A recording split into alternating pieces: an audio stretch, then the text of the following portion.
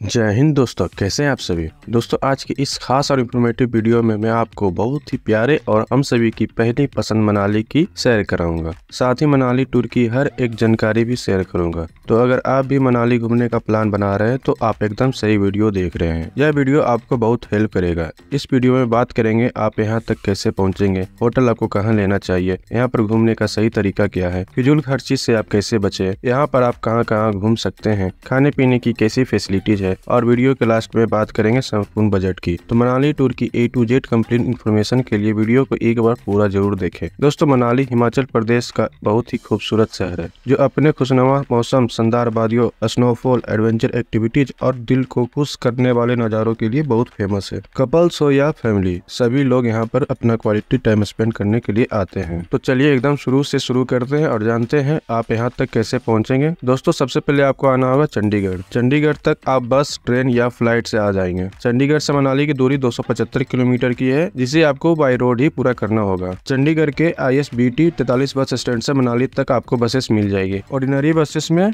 छह सौ रूपए डीलक्स बसेस में सात सौ बीस रूपए और एसी वोल्वो बस में दस सौ पचहत्तर रूपए का चार्ज करते हैं।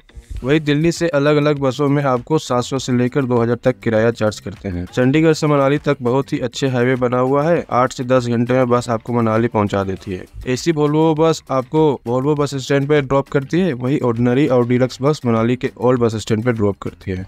जो मॉल रोड के पास में ही है। वही अगर आप फ़्लाइट से आना चाहते हैं तो मनाली का नियरेस्ट एयरपोर्ट कुल्लू में है, जो मनाली से लगभग 50 किलोमीटर की दूरी पे स्थित है। लेकिन चंडीगढ़ की कनेक्टिविटी ज़्यादा अच्छी है तो फिर चलिए बहुत अच्छा शानदार सफ़र पूरा करके अब हम लोग पहुँच चुके हैं मनाली। और अब हम लोग बात करते हैं यहाँ पर रुकने के लिए आपको होटल कहाँ पे लेना चाहिए। दोस्तों, ऐसे तो आप मनाली में कहीं पर भी होटल ले सकते हैं। आप हरिम्बा देवी रोड पर होटल ले सकते हैं, या फिर ओल्ड मनाली साइड रुक सकते हैं। लेकिन जो सबसे अच्छी लोकेशन है, वो है मॉल रोड। आप मॉल रोड के दो सौ मीटर के रेंज में कहीं पर भी होटल ले सकते हैं। यहाँ पर होटल की स्टार्टिंग बारह सौ रुपये से हो जाती है। पंद्रह सौ से दो हज़ार के बजट में आपको अच्छा सा रूम मिल जाएगा। वही सीज़न पे होटल और सभी चीज़ों के रेट बीस से तीस परसेंट तक बढ़ जाते हैं। तो एक अच्छा सा रूम लेने के बाद कुछ देर आराम करेंगे और अब हम लोग बात करते हैं यहाँ पर घूमने का सही तरीका क्या है। दोस्तों, पहले दिन हम लोग मनाली के लोकल प्लेसेस को कवर करेंगे। दो तीन प्लेसेस मॉल रोड के पास में ही है और तीन चार प्लेस से चार पाँच किलोमीटर दूर है। तो आप यहाँ पर घूमने के लिए टैक्सी स्कूटी और ऑटो बुक कर लीजिए। जगह जगह आपको स्कूटी और बाइक रेंट पर मिल जाती है। स्कूटी के लिए पाँच सौ से सात सौ रूपए और बाइक के लिए आठ सौ से बारह सौ रूपए का चार्ज करते हैं। मॉल रोड के पास में ही ऑटो और टैक्सी स्टैंड है। ऑटो वाले छह सौ से आठ सौ रूपए और टैक्सी वाले एक हज़ार से बारह सौ रूपए का चार्ज करते हैं। तो सबसे पहले हम लोग चलेंगे हडिम्बा देवी मंदिर,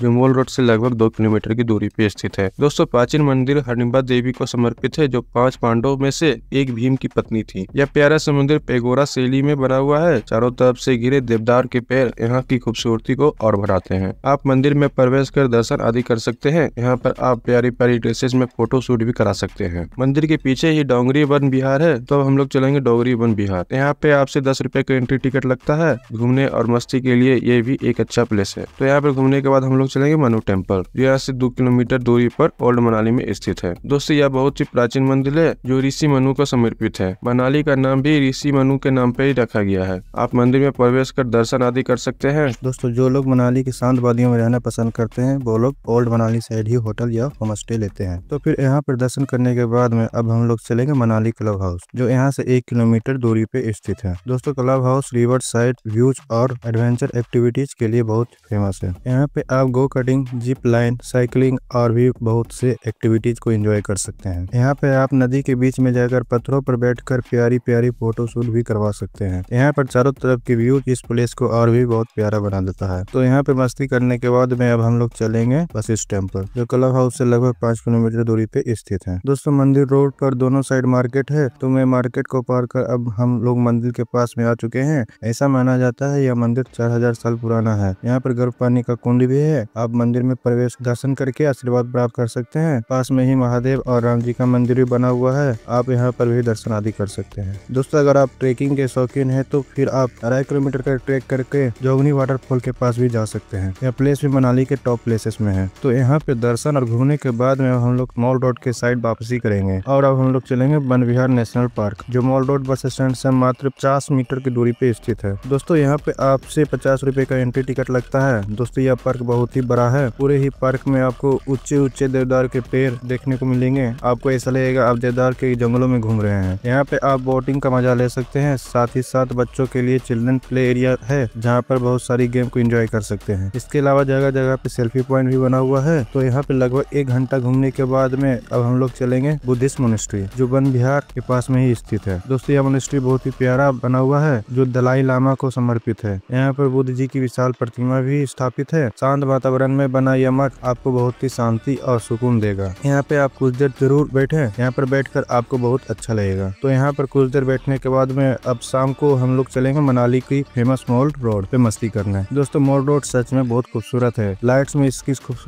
में चार चंद लग जाती है। ऐसे तो सभी हिल स्टेशन पे आपको मॉल रोड देखने को मिलेगी, लेकिन मनाली की मॉल रोड की बात ही कुछ अलग है। यहाँ पर खाने पीने के लिए नॉर्मल से लेके बहुत ही वीआईपी रेस्टोरेंट मिल जाएँगे, जहाँ पर वेज और नॉन वेज हर तरीके का फ़ूड आप इंजॉय कर सकते हैं। साथ ही साथ आप यहाँ पर स्ट्रीट फ़ूड को ज़रूर ट्राई करें, आप यहाँ की लोकल डिश सिद्धू को ज़रूर ट्राई करें, जिसका टेस्ट लाजवाब रहता है। दोस्तों, मॉल रोड पर माता रानी का प्राचीन मंदिर भी बना हुआ है, आप यहाँ पर भी दर्शन आदि कर सकते हैं। तो मॉल रोड पर घूमने के बाद में रात में हम लोग अपने होटल में आराम करेंगे और नेक्स्ट मॉर्निंग हम लोग चलेंगे सोलांग वैली और अटल टनल साइड में। दोस्तों यह प्लेस दूर दूर है। टैक्सी वाले आपसे पच्चीस सौ से तीन हज़ार रूपए का चार्ज करते हैं। तो चलिए, सबसे पहले हम लोग चलेंगे नेहरू कुंड। दोस्तों, यहाँ पर छोटा सा कुंड बना हुआ है। पहाड़ों के अंदर से यहाँ पर साफ़ पानी आता है। ऐसा माना जाता है यहाँ पर फार्गो झील से पानी निकलता है। तो चलिए, हम लोग चलेंगे अपने अगले प्लेस पर। दोस्तों, आप अगर मिड अप्रैल से नवंबर तक के बीच में मनाली घूमने आते हैं तो फिर आप रोहतांग पास भी जा सकते हैं। रोहतांग पास जाने के लिए आपको पहले से ऑनलाइन परमिट लेना होता है, जिसके चार्जेस 500 के अराउंड रहते हैं। यहाँ पर एक दिन में 1200 गाड़ियाँ ही जा सकती है। बाकी स्कूटी यहाँ पे अलाउ नहीं है। तो आप बाइक या स्कूटी से रोहतांग पास नहीं जा सक आएँगे। दोस्तों, गर्मियों के टाइम पर मई, जून में भी यहाँ पर बहुत बर्फ़ मिलती है। यहाँ पे आप बहुत से एक्टिविटीज़ कर सकते हैं। हैवी स्नोफॉल होने पर नवंबर से अप्रैल तक रोहतांग पास बंद भी कर दिया जाता है। तो चलिए, रोहतांग पास होते हुए हम लोग चलेंगे अटल टनल। दोस्तों, अटल टनल दस हज़ार फीट से अधिक ऊंचाई पे दुनिया की सबसे लंबी राजमार्ग सुरंग है, जो लगभग नौ किलोमीटर लंबी है। इस सुरंग के बनने से मनाली लेह स्पीति की कनेक्टिविटी पूरे साल रहती है। वरना भारी बर्फबारी होने के कारण साल के छह महीने रोड बंद रहती थी। इसके अलावा यहाँ से आप लेह लद्दाख भी जा सकते हैं। तो अटल टनल के स्टार्टिंग और एंड पॉइंट पर कुछ समय बिताने के बाद हम लोग चलेंगे सोलांग वैली दोस्तों, सोलांग वैली अपने एडवेंचर एक्टिविटीज़ और व्यूज़ के लिए बहुत फ़ेमस है। यहाँ यहाँ पर आप बहुत से एडवेंचर एक्टिविटीज़ कर पाएँगे। यहाँ पर आप horse riding camel ride ATV bike jet swing rocket bungee jumping zip line और भी बहुत सी गेम को एंजॉय कर पाएँगे। यह प्लेस पैराग्लाइडिंग के लिए बहुत फ़ेमस है। साथ ही साथ आप यहाँ पर रोपवे से ऊपर पहाड़ी तक जा सकते हैं। विंटर के टाइम यहाँ की खूबसूरती का तो क्या ही कहना। विंटर के टाइम पर यहाँ पर आप बहुत सी स्नो एक्टिविटीज़ को भी इंजॉय कर सकते हैं। दोस्तों, सोलांग वैली को स्नो वैली भी कहते हैं। ऐसे तो विंटर के टाइम पर मनाली में भी आपको बहुत स्नो मिलेगा, लेकिन मैक्सिमम लोग सोलांग वैली में ही स्नो एक्टिविटीज़ करने आते हैं। तो लगभग एक से दो घंटे इंजॉय करने के बाद में शाम को चार से पाँच बजे हम लोग मनाली आ जाएँगे। अगर आप चाहें तो शाम वाली बस से चंडीगढ़ या दिल्ली के लिए वापसी भी कर सकते हैं। वहीं अगर आपके पास में एक दिन और एक्स्ट्रा है तो फिर आपसे सुविलेज और कुल्लू को भी कर सकते हैं। तो चलिए अब बात करते हैं, यहाँ पर आने का बेस्ट टाइम कौन सा होता है। दोस्तों, अगर आप स्नो एंजॉय करना चाहते हैं तो दिसंबर से मार्च तक आपको यहाँ पर बहुत अच्छे से स्नोफॉल मिल जाएगा। वहीं मई और जून यहाँ का पीक टाइम रहता है, लेकिन इस टाइम पर यहाँ के रेट थोड़े से हाई हो जाते हैं। बात करें, यहाँ पर आपको कितने दिनों के टूर प्लान बनाना चाहिए तो यहाँ पर कम से कम तीन डेज़ और टू नाइट का प्लान ज़रूर बनाए। फोर डेज़ और थ्री नाइट का प्लान